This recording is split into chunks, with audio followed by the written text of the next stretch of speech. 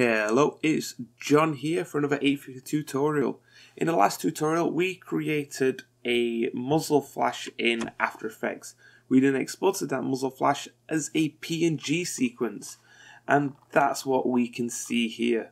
As you can see, that is a whole lot of PNGs. But anyway, let's go into Unreal and see what we can do to put these together, how we could assemble them and create a 2D muzzle flash. So I'm going to create a new folder because I'd like to keep all those organized. I'll call them muzzies, PNGs, just so I know. And I put a dash, not an underscore. So I'm going to import all these in here. and let that do its thing. And once we've got all those in there, we're going to look at how we can add all these together to create a flipbook inside Unreal and then how we can use those. So let's right click and we're going to sprite actions, create sprites.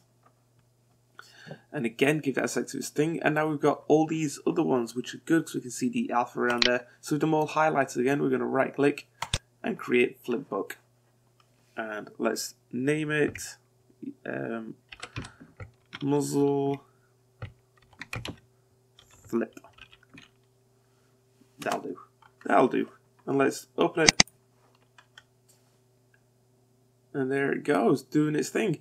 So when we created this, I'm fairly certain it was 24 frames a second, I think. Or it could have been 30. I think it was 24. Ultimately, I don't think it matters too much, to be honest. And there we go, we've got our muzzle flash going on.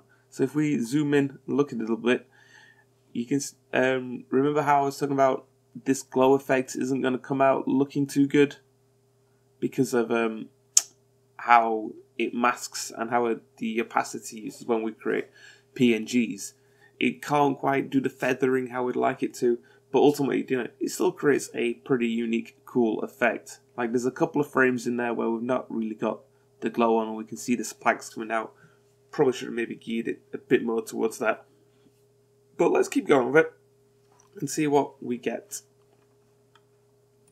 So I'm just going to close that for now because now we've got the sprite sheet and let's go back and create another gun. Well, we're going to create another blueprint actually.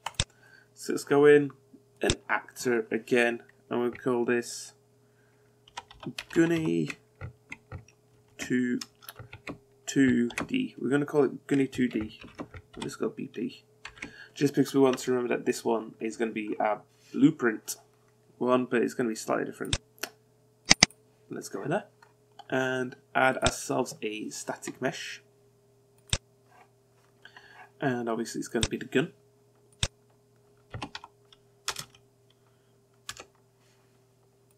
Right, so we're going to change the, let's just change the material upon this as well, just so we can sort of tell it apart.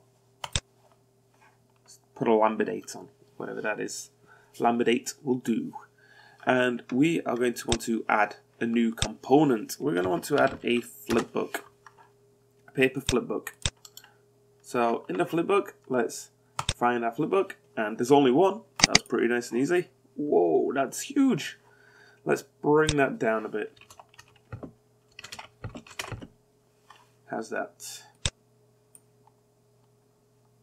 That looks a bit better, still a bit mighty huge.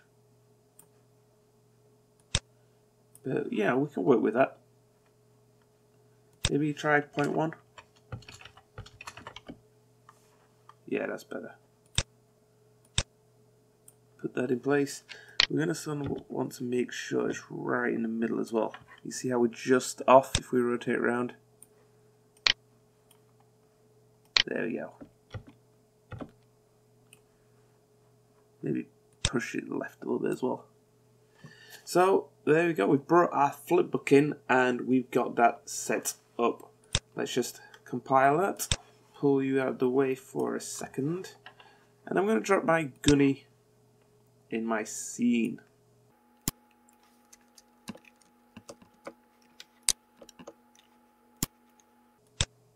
Scale up a bit as well in the scene so we can sort of see it. Alright.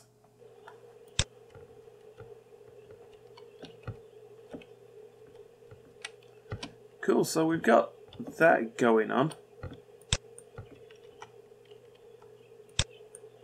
That looks pretty cool.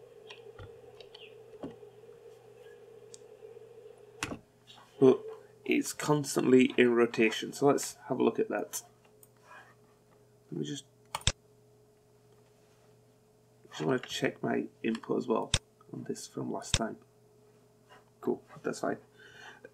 Alright, so let's play with this a little bit more. Let's go into our event graph. So, uh, what are we going to want to do? We're going to be able to want to trigger it. So let's bind it to a key. I think I bound the other key to R. So let's set this one to Q. So when Q is pressed, let's type in flipbook and see what options we've got. Um, so we can set it. We're gonna want component. We could activate it, deactivate it. Mm, no, you know what? Let's not do that. Let's just have it sort of running all the time and just set it to visible.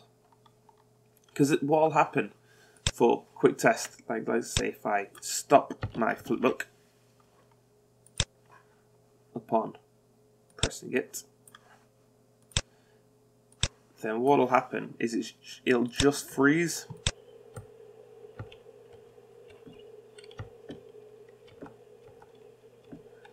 So, so yep, see, upon the key command, it, it's just frozen. Yeah? That's not what we want. And we could kill it, but then we're not going to be able to bring it back. So, let's use the visibility. So we're going to go into it and so it's invisible at the start. And upon the key press, we're going to want to do the visibility.